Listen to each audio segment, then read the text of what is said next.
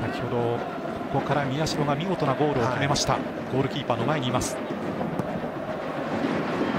ヘッド！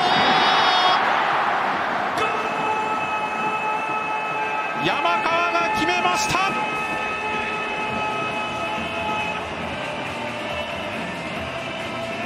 ！2年ぶりのゴールはサポーター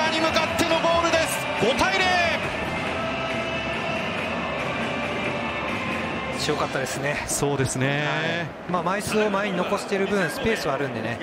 この1対1の争いで勝ちきらないといけないっていう状態にはなるので。今、駒井選手ですかね。最終的にはサイズの差でちょっと、はい、もうちょっとのところだと思うんですけどね。最後、頭がやっぱ出てくるんですよね。高さの